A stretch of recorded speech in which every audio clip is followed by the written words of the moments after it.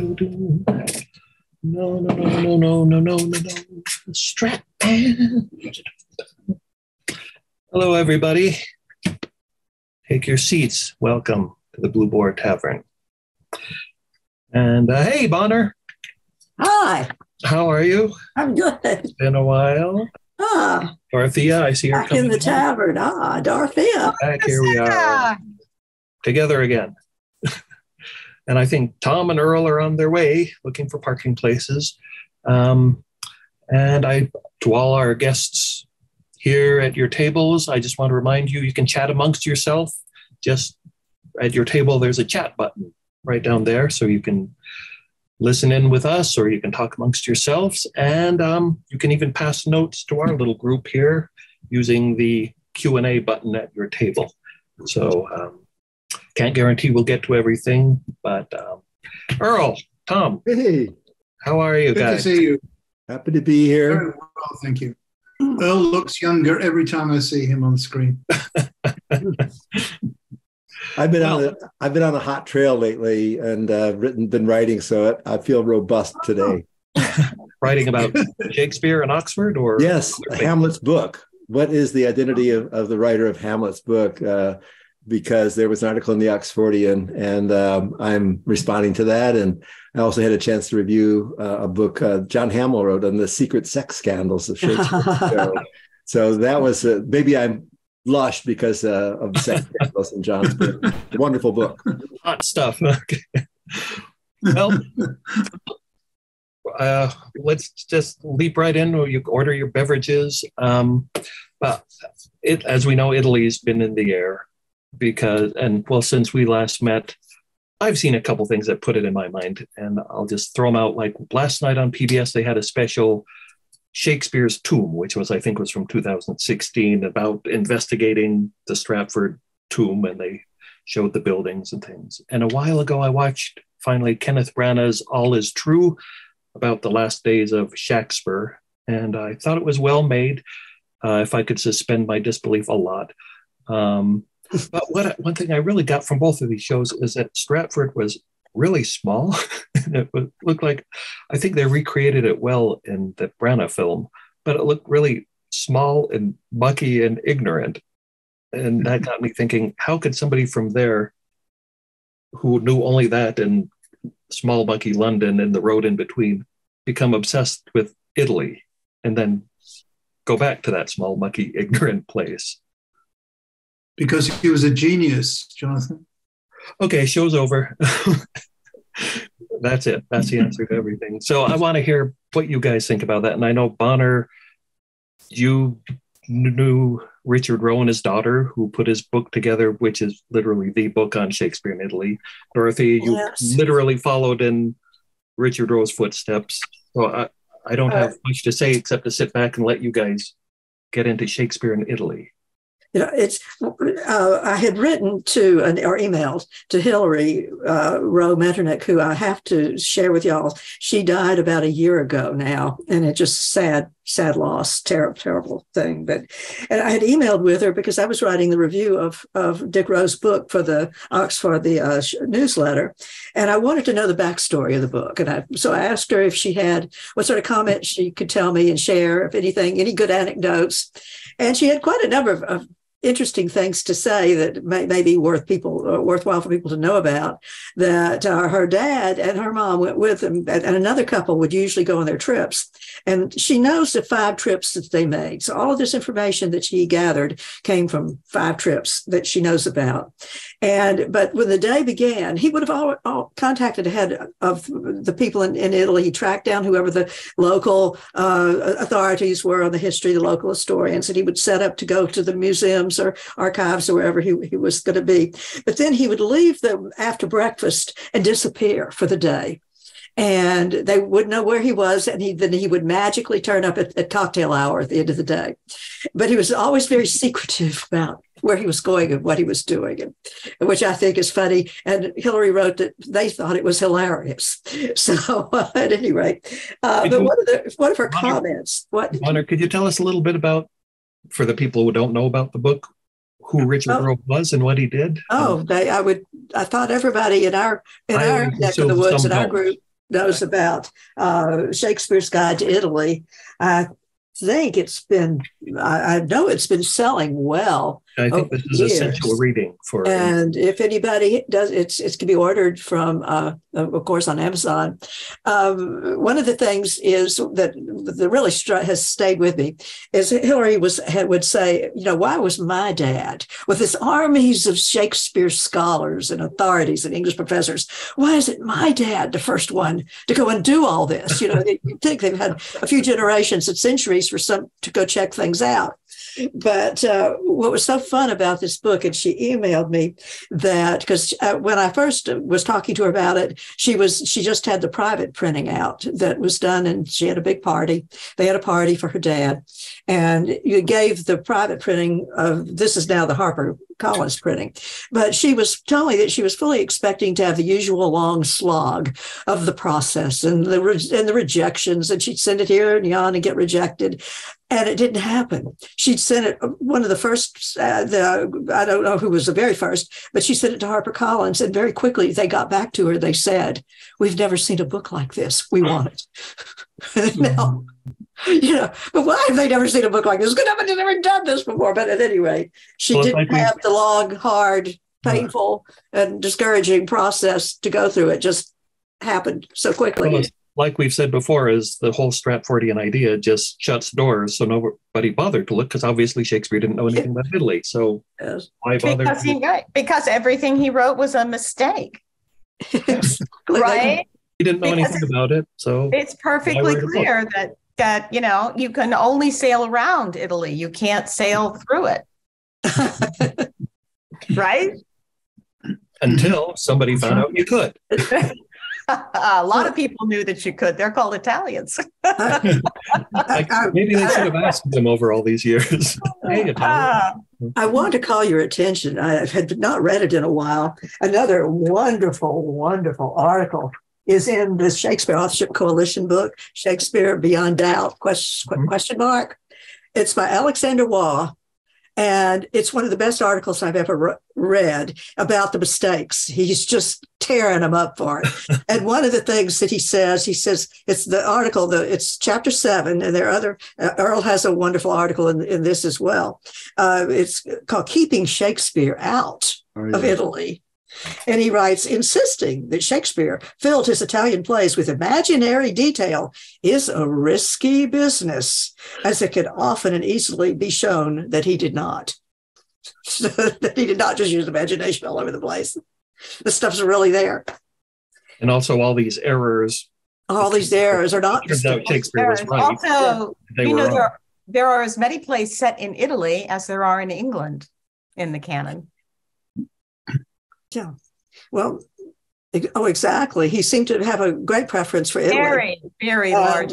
with with the Italy. only play set in contemporaneous England, of course, as we all know, is Merry Wives of Windsor, and everything. the- Of course, the historical plays are, but they're historical plays. So, And of course, the documentation of the Stratford guy, there's no reference to Italy or an interest in Italy or at all. Or him leaving the country ever. Yeah. Mm. So should we at the literary references, uh, the untranslated Italian works like uh, uh, Boccaccio, Bandello, Ariosto, Cinthio, Ser Giovanni, I think. Uh, oh, and um Dante. Yeah. I mean, all the resources he had access to. Now, we know the Earl of Oxford was fluent in Italian, and we have Orazio's Cuoco's testimony to that effect. And uh, the better part of a year in Italy, certainly, you know, he was well accomplished in French, Italian, and Latin. We know that. So he loved the Italian literature. And, you know, Er- Ernesto Grillo says that four fifths of all the English romances that were that were dramatized during Shakespeare's era came from Italian plots and characters and techniques and all that. So from a literary standpoint, uh, the whoever wrote the Shakespeare works loved Italy. Well, and that's one thing. It's such a big topic to cover in our little time here because it's not just Italy, the country. He had a familiarity with the place, but he had familiarity with the language and with the literature and with the theater, and the whole culture. It wasn't just like traveling through a place and seeing it. He- So he where do you want to begin? So, Dorothea. Where do you want to begin? Okay. Uh, I, I just wanted to throw in a, a, a defense of, of Shakespeare here because I mean, he, he talked to sailors in bars and he looked in books and he must have found maps somewhere. I mean, what's wrong with that? He talked to that guy, John Florio, I'm sure.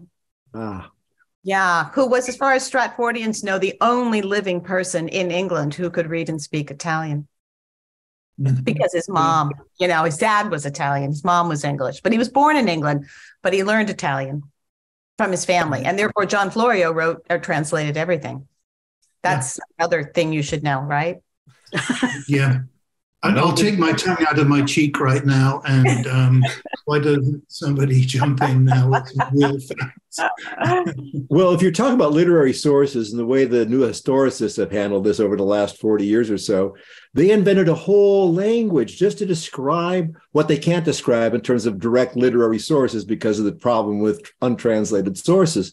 So they talk about the cultural transmission of archetypal narratives, you know, and they create a, uh, you know, a, whole language around how things are translated and, and transmitted across na- international borders and arrives mysteriously because it's culturally based. It's not about a particular source. Classical philology is out. It's the elephant's graveyard of literary studies, according to, you know, so they divorce any association with direct textual sources in order to create a, a, obfuscated uh, dismemberment of the author. So his intention is no longer important. It's about the cultural in- influences that that have this. So they take the background and make it the foreground.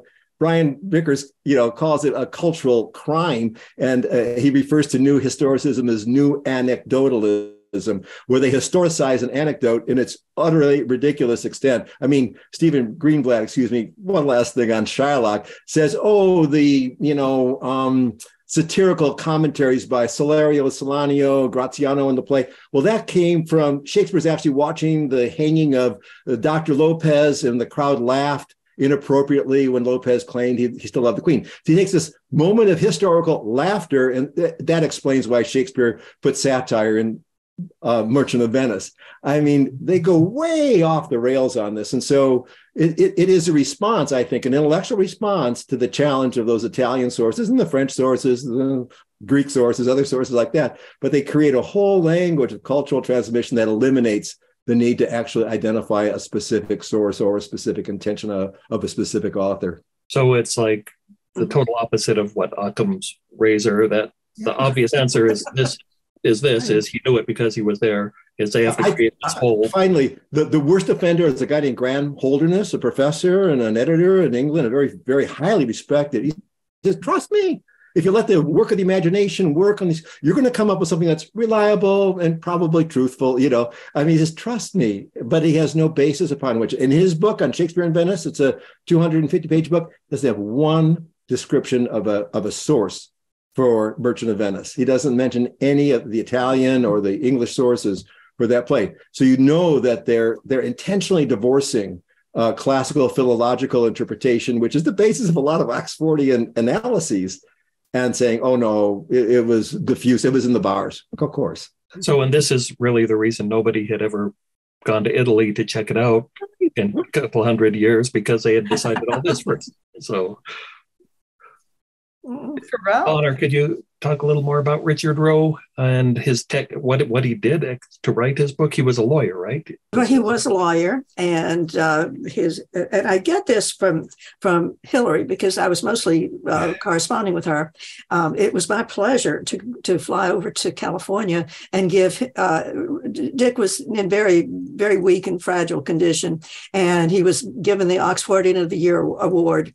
And it was going to be presented at the Ashland conference, but Hillary emailed me back and said she didn't think her father was going to make it. And I don't, but at any rate, uh, so I went, got on an airplane and, and flew and, with, and had the tra- had the plaque, which I gave him. And we went to where he and Jane were living in this beautiful, beautiful retirement community called the Garden Villas or something. And uh, he was in a wheelchair by this point, but uh, it was just really his eyes filled with tears, and he was getting the recognition he he had richly deserved, and for a long time. Uh, the process, according to Hillary, had taken him about 20 years between the trips. And it was it was a little bit upsetting to her because well she had been living her husband was in the diplomatic corps uh, mr cornelius metternich. And so they mostly lived abroad. And whenever she'd come back to visit her father he said i just got one chapter to go. I'm on my last chapter. Well he was on his last chapter for year after year after year. And finally uh, after her husband retired and they got, bought a, pl- a place to live in pasadena so she could be near to them she said, I got, I, she realized it was the ball was in her court to move this thing forward and get him past the last chapter. And so she kind of took it over and one thing she did is she she calls it that she uh, tweaked the, his prose a little bit around the edges, and she really didn't want him to know when he saw the final book. But basically, she hired a secretary to help to help with working. She hired a map a person because he had a lot of maps of things that he wanted in the book that you could see that she had an artist to take him out of his head and put them in the book. It was a it was a huge labor of love on her part and uh, it, it, did come about. And by the before he died, he did know that HarperCollins that his book was going to be published by a major uh, publishing house, and so it was really. And he was Oxfordian of the Year, which was, of course, more than well deserved. And basically, he did the common sense thing of going to Italy and with Shakespeare's works and checking things out to make sure if they were accurate or not, right? And, and uh, what is amazing, and I'm going to turn this over to Dorothea because she has been exploring this with even more things than he found going to Italy, and as building and building on this fabulous foundation that we have inherited from him and this his labors. So. Uh, at any rate, Dorothea, do you want to go now? Sure. I'm I'm going to try something new here. I'm going to try to share my screen. So you guys let me know if this works. You mean uh, you're going to show us what's on your phone right now? Uh, well, I can flip it around and show you. Hopefully, I'll be able to make that happen. Um, I just wanted you guys to take a look at a 1576 map. I couldn't find a 1575 map. Um, so this is Oxford's second year. And the purpose of showing it, if you haven't seen this before, is that many people are confused about the historical and political situation in Italy at the time that Oxford was there. Italy did not exist as a country. Italy was not united into a country until 1861. That's Garibaldi. Uh, and it was quite a task. And so for hundreds and hundreds of years, it was fiefdoms. If you think of uh, strong guys who um, each had their own area. Of course, the Pope had Rome and the Papal States, but the Republic of Venice was actually very large, and you can see that it extends down the edge of the Dalmatian coast to the Duchy of Milan. So Venice is independent, but the Duchy of Milan, for example, was in Oxford's time underneath the jurisdiction of uh, uh, of of, of the Holy Roman Emperor. And so that and all of Naples was strongly Catholic and papal. Sicily uh, was um, certainly an island. It is the largest island in the Mediterranean. Its history has Greeks, Romans, Arabs, Normans who have come through. It is the breadbasket uh, that feeds so much of Italy and actually so much of, of Europe. But even if you look at some of these tiny little places, you'll see um, Montferrat is a really tiny, tiny spot. Um, uh, if you look up into the into the corners of northern Italy, you'll see that there's Genoa. So this was not like, oh, I'm going to Italy and I can traipse here and there. Oxford, as you may recall, said he feared to go basically even pass by Milan. And the reason for that was that he was very concerned that the Spanish um, would not take kindly to a Protestant Englishman there. Um, if you've seen the video that I uh, of the talk that I did about my most my most uh, difficult adversary, it's a man I've been married to for over 30 years. my husband, Rich, was very much a confirmed Stratfordian. Um, Rich has a number of impressive degrees. He was a history major at Princeton. He went to Harvard Law School and he has a master's in history from the University of Edinburgh. And his position is the name on the book, unless it is uh, basically either pulled back or that there is disagreement about it during the person's lifetime or immediately thereafter. From a historian's point of view, that is the author, and the burden to say it is someone else is quite high indeed. And we suffer with this, you know, all the time.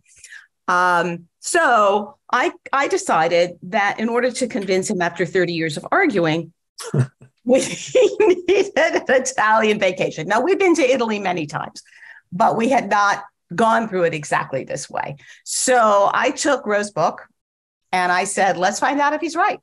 You know, I don't know.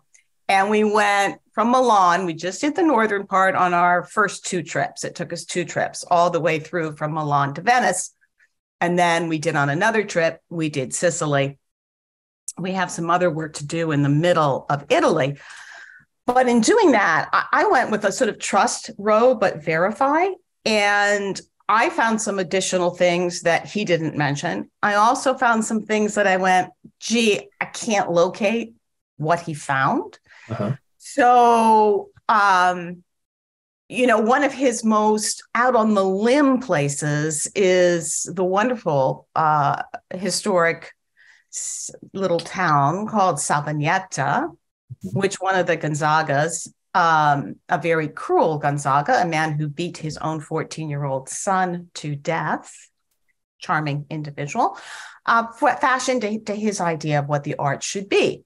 And one of the things that Roe said he ran across was a group that was touring in Italian, and he didn't speak Italian, but his wife did. I do speak, read Italian, which is very useful.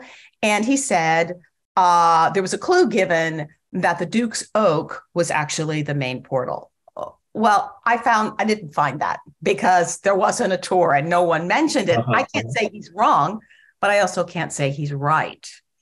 Um, on the other hand, I did notice that on a pedestal in the center of the main piazza in Sabbioneta uh, is a statue of Athena, which uh, that Gonzaga's father brought from the sack of Rome, and she had been there since 1527. Ooh. I mean, it's like 30 foot high.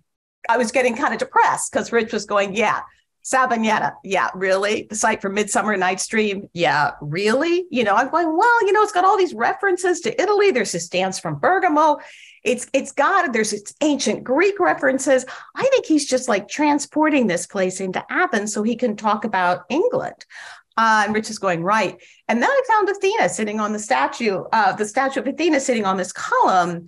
And that was like, wow, it really is. And then I could go into the internet and I said, there's got to be something there. And I come out with Little Athens on the current contemporary 20, you know, 21st century um, shield for the city of Sabbioneta. So there is definitely something to Little Athens on the Po.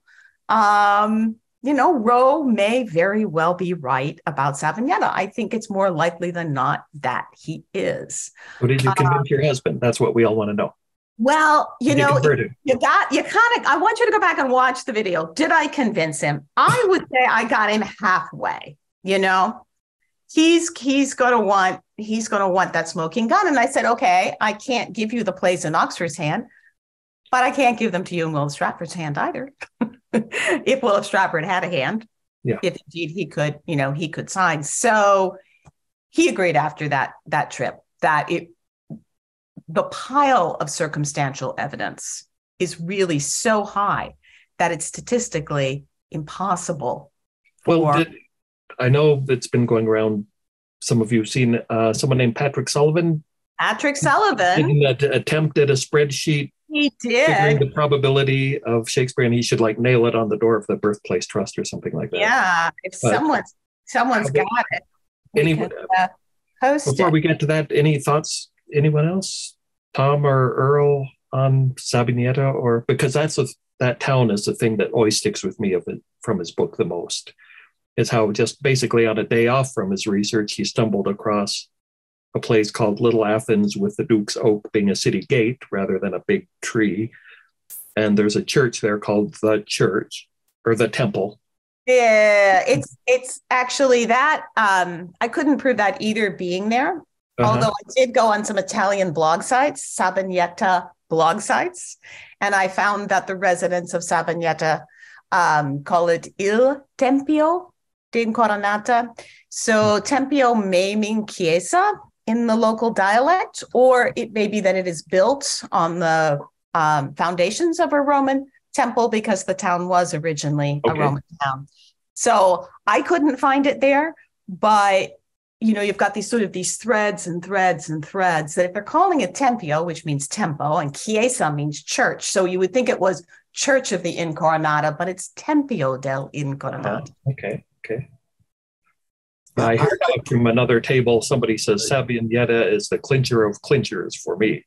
Ah. It's, it's a wonderful it's a wonderful spot um, and people live there um, it's also a major you know tourists from walk through but there are in, in that part of italy it's certainly not alone in being one of these walled fortress towns there are many of them and you can drive through them. And some of them are large enough like villafranca which uh, is outside verona which roe also mentions as a judicial center for Verona, um, as and and in the play Romeo and Juliet, you know, come to old Freetown, our our common justice place, is what Escalus says as he's chastising the uh, um, Montagues and, and Capulets for street fighting.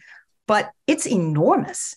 If it's possible for me to tell you, if you could take four English castles plus their sort of closes, you could put them inside Villafranca di Verona. It's that large. Well, what this all really says is um, if you don't get, I think, Oxford, we're talking about, you're missing the plays because, as somebody pointed out, maybe when they do productions of A Midsummer Night's Dream and have the characters meeting at the Duke's Oak and they put a big tree on stage, they're getting it wrong because it refers to a city gate, which makes more sense as let's meet at the city gate, which leads out into the forest mm-hmm. to practice rather than meet under a big tree. And you wouldn't know that if you hadn't known like Oxford had seemingly passed within 25 miles of this little town. We know that. Yeah. What, do you, what have you got, Bonner? What have you got? This- Oh, uh, yes, uh, it- yeah, this is the Duke's. Uh, this is the picture in, It's Ro- in Rose's book of what he of the of the entrance. That sorry, it keeps disappearing on me. I guess I'm magic too, but uh, it it's on page uh, of his book 184, and this is the what he, this this structure. I don't know if it was all original or not, but this is the structure that's now known as the Duke's Oak. Well, let's say the the guide, I guess the guide said that. Yeah. To Okay. to him. Roe while while he was there. Right. Yeah. Um, Earl.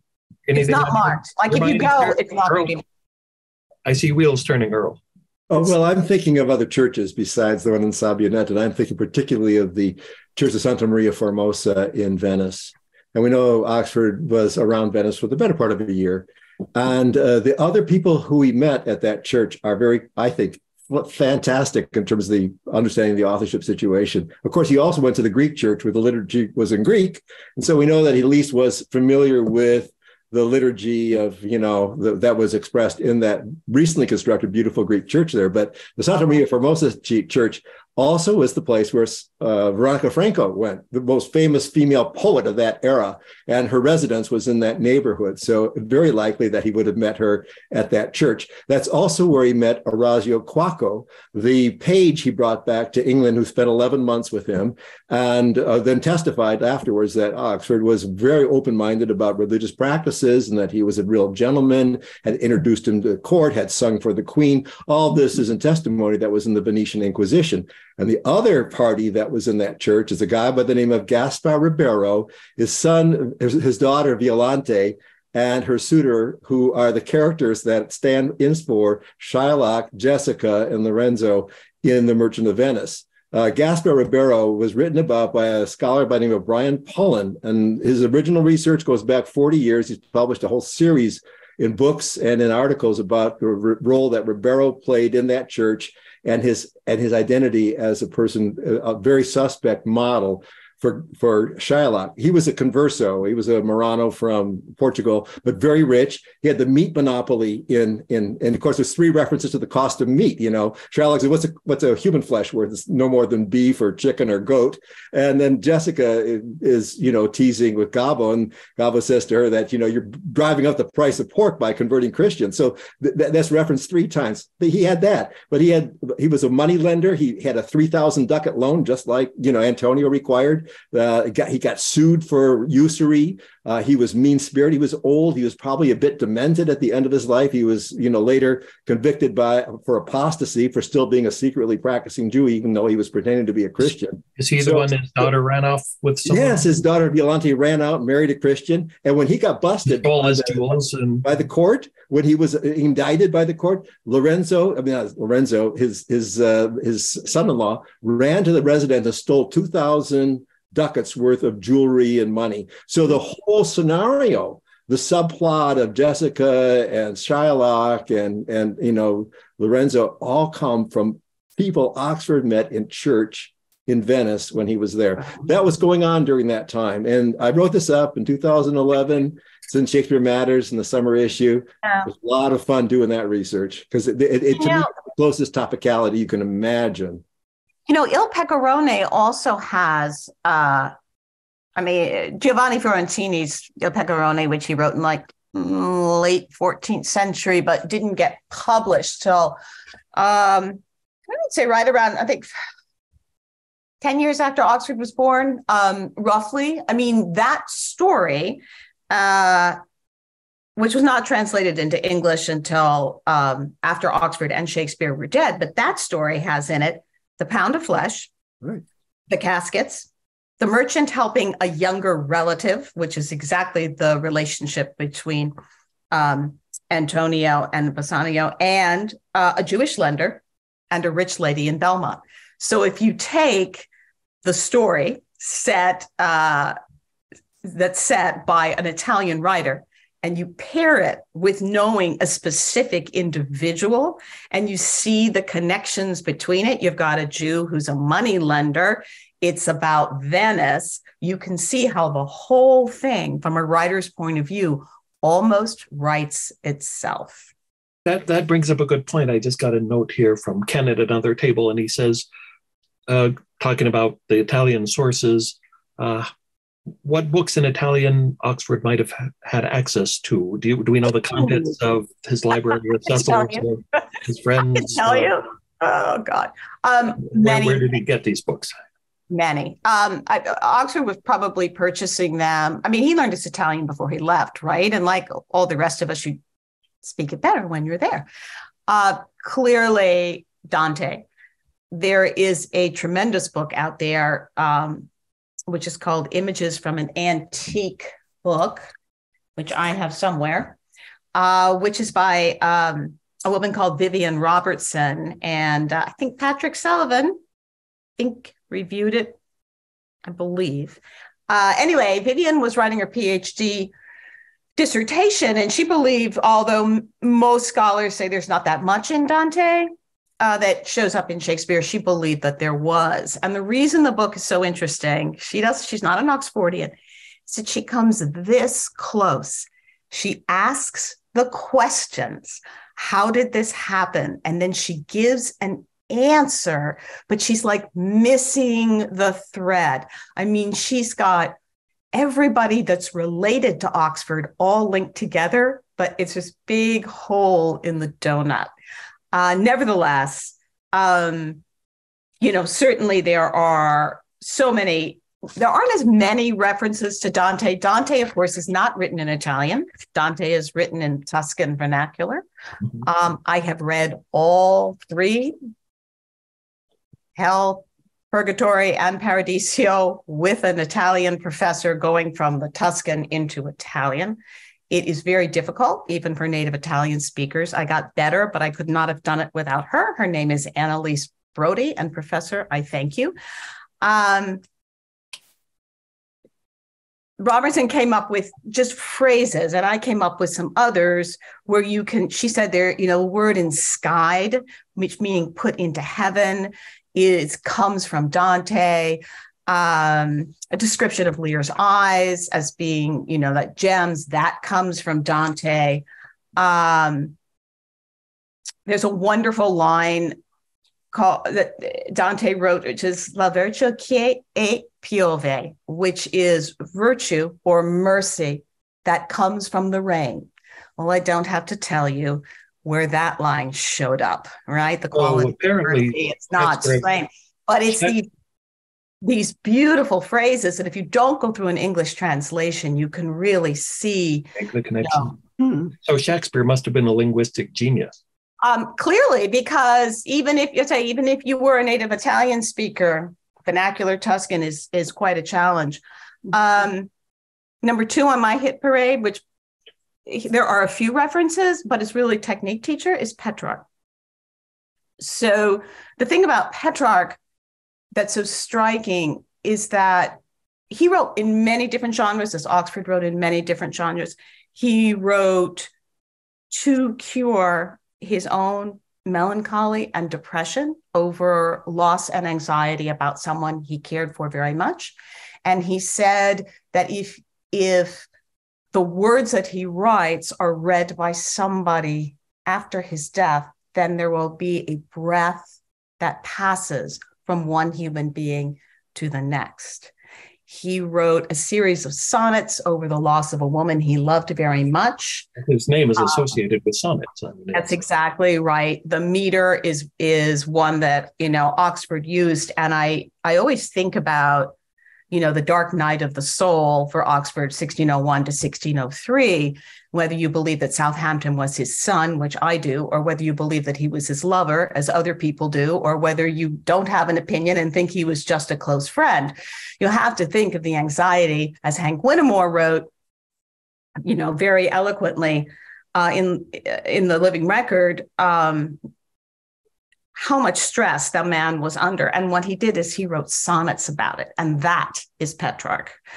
Um, so he was actually emulating an Italian. Absolutely. So Petrarch was like um, a technique teacher. You know, this is how you get over it. This is how you do it. Petrarch said that his process in writing his sonnets was to take letters and writings of ancients as guides and to work himself out of the depression. And the terrors of his age included plague, which Oxford also had. We know a little more about that now than we used to. We've lived through it to some mm-hmm. degree, although one third of our citizens did not die, as they did in Petrarch's Florence.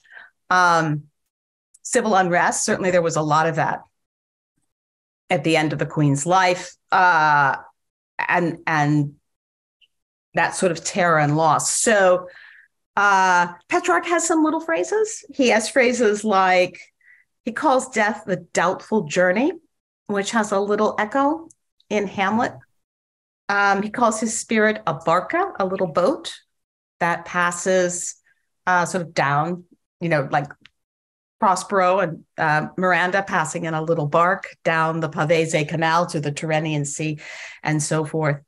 Um, going through the others pretty quickly, Boccaccio was very strong feminist. You know, there's a lot of questions. Where does Oxford get his feminism? I will tell you that Boccaccio is number one on the list uh, for that, the stories from Boccaccio, Ildeca, um, 10 times 10 stories, a Decameron, show up uh, in a folio published by Jaggard in 1620 and dedicated to Susan de Vere's husband.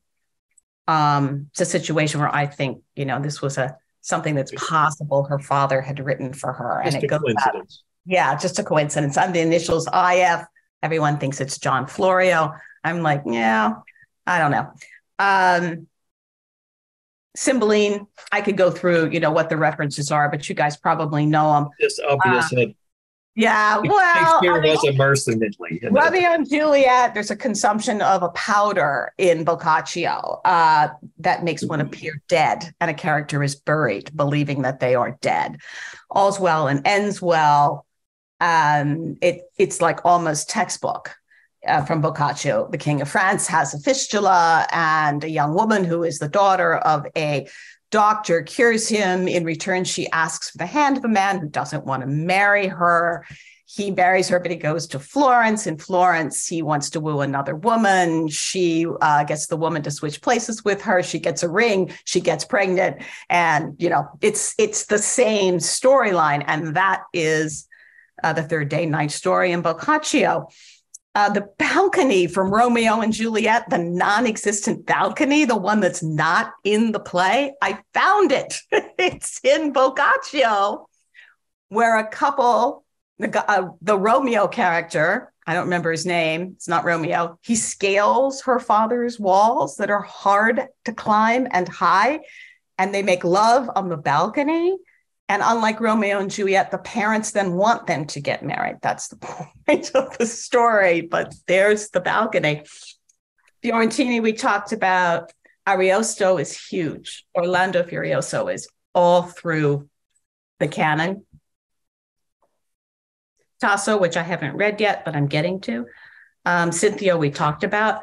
So these are all yeah all sources that mm-hmm. Shakespeare is known to have yep. used that Right. So if Will, if and and some of them were partially translated, some of them were in Latin. The Dante parts of the Dante were in Latin. If Will of Stratford could read Latin, he would have gotten some of the stories, but not all of them. And some of the specific phrases and certain. And the specific phrases from the Italian, it would depend how they were translated into English. I mean, the chances just go down and down and down and down and down on the volume. What do you guys think on this? Any thoughts running through your heads? Bonner? Uh, just one little thought to comment. It's so I totally love everything Dorothy is saying. It's just Incredible. great. You first of all, Dorothy, you're delving into this so deeply and it's so wonderful. And with you, what you're doing with the Italian sources and Elizabeth Waugaman is doing with the French sources that have never been recognized and never obviously appreciated because for what they are, because the because the the great ones out there, that army of scholars, they want to keep Shakespeare out of Italy and out of France. They don't want to look at these things that are just in your face. But uh, so, I mean, I just love what you're doing. You're just opening up new worlds for everything. Well, Elizabeth and, Waugaman, Elizabeth Waugaman is my inspiration and my heroine because she is she is awesome mutual, on French sources. Sure that's very quite mutual. I, but I just wanted to point out that in the Court of Wards, and I know most everybody knows this, uh, it's listed about half a dozen listings that were ordered for Oxford when he was still a ward of, of William Cecil Ward. But well, Burghley wasn't Lord Burghley yet, but when he was at Cecil House on the Strand, and it was, of course, Plutarch's Lives in French and books in Italian, but they don't say what they were. But we do know that he was be or, or and getting those books from wherever they were in Europe uh, was no mean feat. This book, this idea that, of course, Earl was uh, elucidating, elucidating that's, huh, I'm not getting the word I want there, but telling us about it very clearly about how the, the problem of getting these extremely expensive, valuable books, they didn't just sprout wings and fly. Into, oh, Amazon. Uh, and, Amazon. They, the, the, great ones have you believe that the, that they just that the print just went off uh, into the atmosphere and sort of floated over culturally and then just rained down. and the man from Stratford just held out his hands, and suddenly it, he had translations of all these things. Like Actually, William Serres, S E R E S, is what you find in the uh, biographies that that. Uh, uh, Burghley had a professional person who, who uh, an agents who went over there and got him the books in his that were supposed to be a fabulous library. Uh, so, um, and of course, Mildred had books in of the medis- of the Greek uh, medicine, eh, books in Greek on the medical terms, and Earl's written about that. So we could go into that.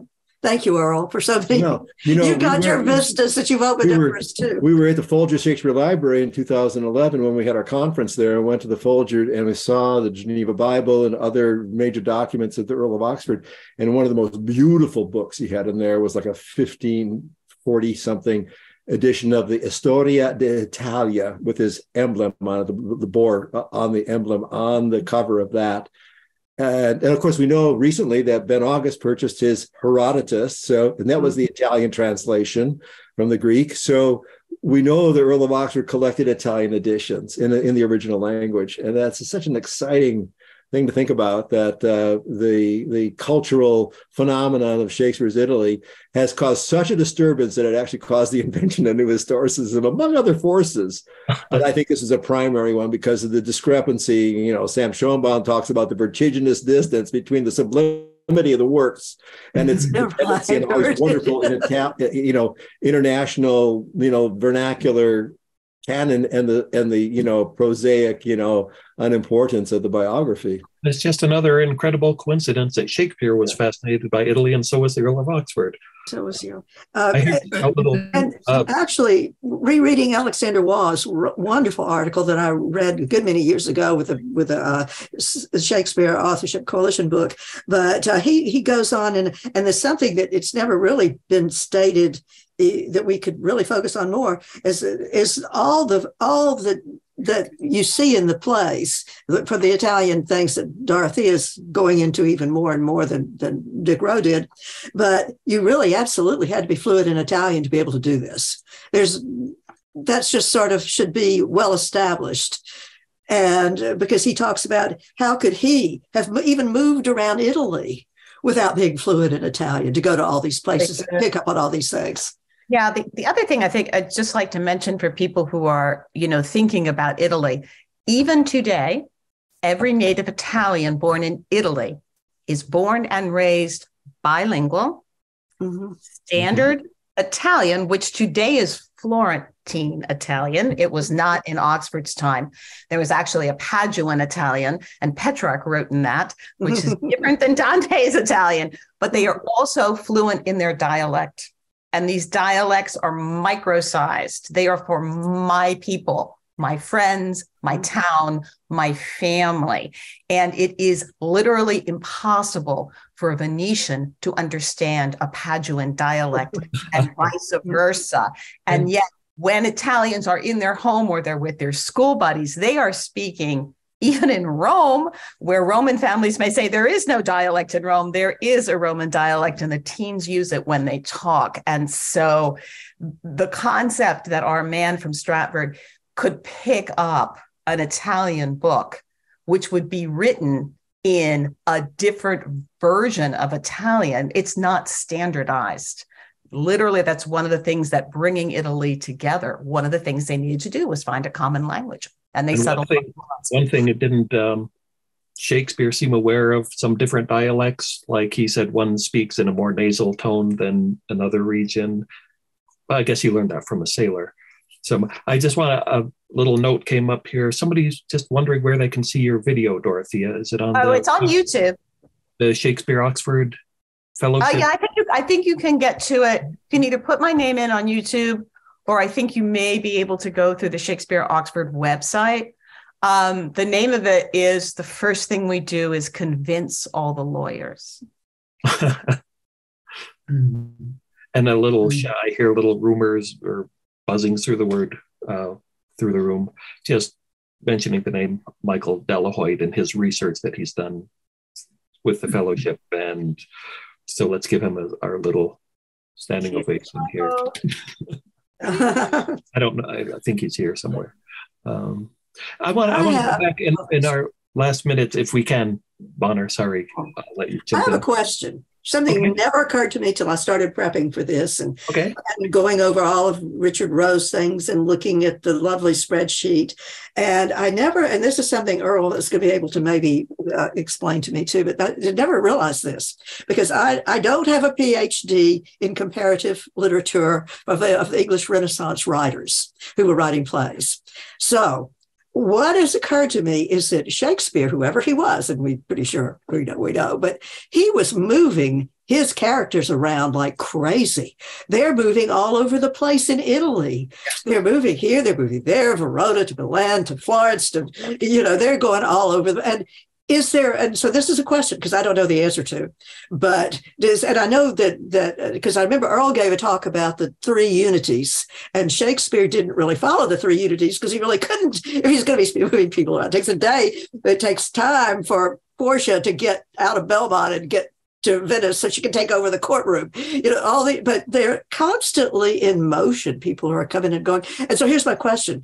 Looking at the other playwrights of, of you know, looking at John Marston, looking at later Ben Jonson, and and the different playwrights who were Christopher Marlowe, of course. Uh, did they really move their characters, cast of characters around like this? Is there this much motion in these other playwrights? And other people do, do I the same did. I can tell you who did. I can tell you who did. Ariosto. Ah, but Orlando that's, Furioso that's a source of Shakespeare. Orlando okay. Furioso has been mapped online because there are so, it is such an epic and there are so many characters. It goes from China to Arabia to Scotland. There's a whole section on how dreadful the Scots are to their women. It is hard to be a woman anywhere, but especially here. Ariosto writes about Scotland. Now, he's not writing about Scotland, he's writing about Italy, right? They are in France, they are in Germany, they are in the Netherlands, they are among the English. It, literally, the maps are like little tiny tracks. But, I think but, that's so we know that that Arias uh, says Orlando Curio.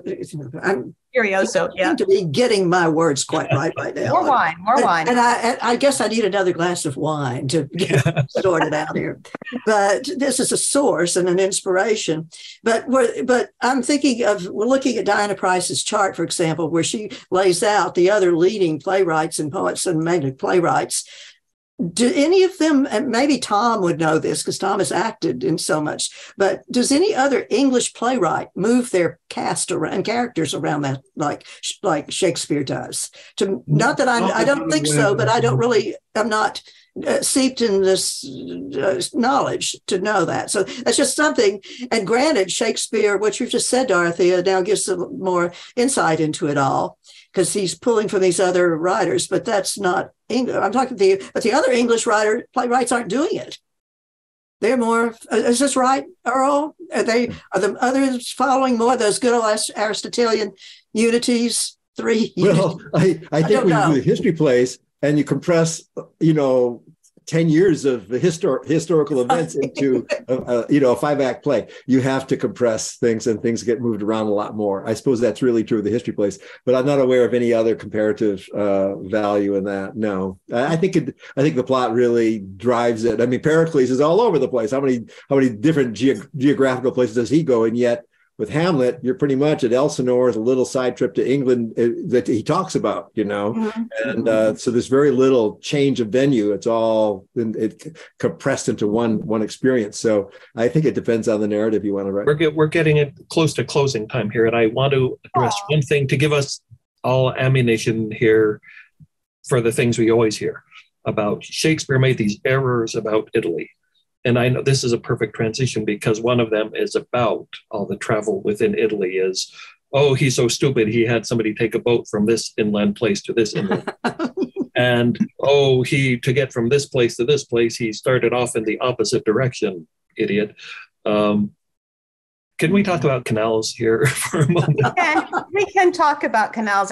Uh, I mean, actually, I the first thing I wanted to see when I was in Milan, you know, to see if Roe was right I mean, I had no reason to distrust him, but I had no reason to trust him. Uh-huh. It, it, does sound very strange because when we fly into Milan or take the train into Milan today, it is a landlocked, but no, of course. 1575 Milan had an outer beltway canal, an inner beltway canal, and three or four major canals. So I dragged Rich in the sun, um, sort of northeast out at the center of Milan. He will remember this walk. It was long. We were tired on a road called Via Melchiorre Gioia because I had read in Rome that the Martesana Canal, which is a huge canal completed in 1573 from the east, that is from Verona, right? Was actually built through to Milan. And I had heard that it was still above ground at a point mm, maybe a mile and a half or two miles out. Yeah. And we walked it and you get to it. And I promise you, it is there. It is very broad. You can take a boat on it today. It has a path for walking on it and also biking. and it, it's like a waterfall. It comes towards Milan and then it drops.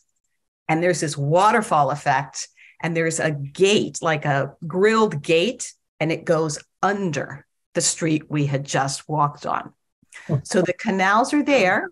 If you go on to anything you like, um, Pinterest, I have a collection of pictures there on Old Milan, but also just, you know, Milan canals. You can come up with so many photos from the 20s mm-hmm. before they were paved over mm-hmm. uh, of canals in Milan, all of northern Italy. Everybody who had money traveled by boat. Isabella d'Este was not going to Venice on an ox cart. So Shakespeare was right again. In the absolutely right. Absolutely. I mean, DeBonner, I think you said once you saw a map or we're looking uh, for you know I, that the canal system can... was like a spider web. Yeah, it was like a spider web. Oh my. I've lost it. Let's see. I've got some. I don't know if I can find it. Okay, well, here's the map that uh, yeah. This oh, map, I'll give credit to John Lewandowski, who used his, who had his assistant, who was a, a stu- from Italy, but was studying in Princeton, I think, at the time. But in fact, interestingly enough, up here, this le- top left, that's the River Adige and and uh, Verona is on the River Adige. So to get, but Milan would be way over here, far, far west of where this, this, this is east and far, far west. But to get there, you take the river, and he has this particular uh, taking uh, an arm of the River Adige. Then you take a canal down to the River Tar- Tartara, and then you go over again on this river, and then you take another canal down. And when you get, then you get to the to the mighty Po River, and at the Po River, then you sweep this way, and you sweep all the way up back to Milan. And that's how they do it. So Shakespeare so, was right that you started off in the opposite direction, right, where you were heading. Yes. Isn't that how, interesting? How would he know that? How would he know that? He's a born contrary. well, obviously from sailors in in the tavern. Mm. But but then the sailors had to if they if the Stratford man found that out, the sailors would have to be bilingual which I doubt then 400 years ago, like Darcy says, they're, they're teaching people now to be more bilingual and, and speak many languages probably. But I, I would doubt seriously 400 years ago, people in Italian sp- spoke their particular dialect of wherever the area they were from. And people in France spoke French. And you basically the language of, of diplomacy was Latin. Absolutely. So you know, how is this? How is this man? I have to always laugh when I think about it. Uh, James Shapiro, in his book Contested Will, he starts to explain how his guy could do manage all these things, and he did it simply through through uh, he observed human nature. He chatted with with tavern people, people in taverns, and he browsed through the bookseller stalls at the churchyards, and actually, there was a reviewer, and I forgot the name, is an important reviewer in the Wall Street Journal. And after James Shapiro's book came out, he said he was going over and giving giving him a great review, and, and of course, kind of putting down anybody who would dare to doubt James Shapiro's book. But he says, you know, the people who doubt this really have a point. I really don't see anybody chatting and observing and browsing their way to writing Hamlet and King Lear and Macbeth and, whatever I had to laugh. I've got that review stashed away somewhere, but yeah, you really browsing and observing. They, they can't even buy their own bologna. Listen, you're much more likely to find a plot worthy of pursuing at the Blue Boar Tavern than at the Mermaid oh. back in the. I was going to say, you know, if Willis Stratford could only have joined us here, he would have learned it all. As, uh, Jonathan, um, it's possible you've been passed several notes which we haven't talked about. Good point. possible to preserve those notes so I, we can, can, let people. I can throw out a, a few here. Um, uh, let's see, Sonia, is there any trace of Oxford contacting Cardano to present him his English consoliat, um, my consoliatione? My pronunciation sucks, but um, any? I don't know. Yeah, he, he, I don't know. Uh, What's the scholar? He did go to Germany, to Strasbourg. To, to, what's the great German scholar? Sturmius. To see Sturmius. Yeah, right. Sturmius. Yeah, yes. Yeah, that's right. So we know Oxford was actually seeking out intellectuals during his travels. He yes. wasn't just being a party boy there, like some right. people claim. Um, somebody wonders um, John Florio's First Fruits, 1578, has been mentioned as a possible source for Shakespeare's Italian. Any thoughts on that in our last minute or so? Um, I guess not. Uh, sorry, Ken. Uh, and somebody asked how we found Dorothea's video, but I think we addressed that. So those are the notes I've collected here. Thanks. And Bonner has I have a closing. Yeah, let's statement. If yeah. there's time, if you've got about 30 seconds. Go for it. Go for it, It comes, I'm quoting Charlton Ogburn. It's in his wonderful book, Mysterious William Shakespeare. To me, it's the greatest quote I've ever re- run across. He says, The Stratford theory must have more lives than a dozen cats to trip fatally on so many facts and yet still greet us at our doorstep whenever we look. Hey, I just, we're doing our best to get rid of that cat. I just want to put in put in one one quick word. I don't think we have time to show it, but I do want to say that Patrick Sullivan did this incredible analysis of the statistical probability of whether or not Will of Stratford could have heard of these things online. I don't know if we have a chance to see it. There's just a brief look at it. Oh, but gosh. he, oh. he, if you scroll down through it, he went play by play, item by item that Roe pointed out. Mm-hmm. Uh, and he came down as you scroll through it, you will see he very generously gave, you know, high marks to the probability that any one fact would be heard in the Mermaid Tavern or from a sailor, uh, versus in the far col- column, you know, would you have uh, heard it um, uh, if you were there or learned it for yourself if you were there? And and this to me, it's it's like the difference between with circumstantial evidence. You know, one piece of circumstantial evidence. Ah, two pieces, three pieces, four pieces. But by the time you roll through Patrick's analysis as a lawyer, I just see so many pieces of circumstantial evidence that are impossible unless you have been there. And that actually was what convinced my husband, Rich, at the end of the day, that the circumstantial evidence, he's done it mathematically. Thank yeah, you. I hope, I hope that can be made available somehow, somewhere, someday. Any final thoughts, Earl or Tom? I've got to kick you out in a second. Um, there's a book. I thought right. Think about getting it if you're going to go to Venice and, and try to do a Dick Roe of Venice. It's called Shakespeare in Venice, Exploring the City with Shylock and Othello, originally published about 10 years ago, but it's still available online. So if you're planning a trip to Italy, I do recommend this book that actually mentions a lot of the things that we may have talked about a little bit tonight. So it's a it's a more honest uh, uh, than the Ashgate series that I mentioned earlier that are all wrapped up in new historicism and claptrap. So good luck with your reading, friends. Uh, oh. you know, and thank you, Dorothea, for sharing so much of what your recent research has been. It's been just just great knowing that you're on the ground literally and in the library. Yep. To you. I, I, so, sorry, I'll mean to interrupt, but I'm left wanting more. I just wonder if we might do another Blue Boar on Italy. I just throw that out there. But there is so much I think that we haven't touched on. So much. There is so, so, so much. Yeah. It's a very deep pool. And somebody, uh, on a final wrap up, is wondering if there's a link to that spreadsheet. I don't think it's it's it's circulated in manuscript among us, but hasn't. um, but hopefully, somebody will find a way to put that we, up somewhere. We can do that. We can easily do that, Jonathan. Yeah. All right. I got to kick you all out, but thank all you right. so much, everybody. Thank you, thank everybody. you so much, everyone who came in. Bye. Bye bye. Hi. So Oh, you came to help with the dishes and clean up, huh?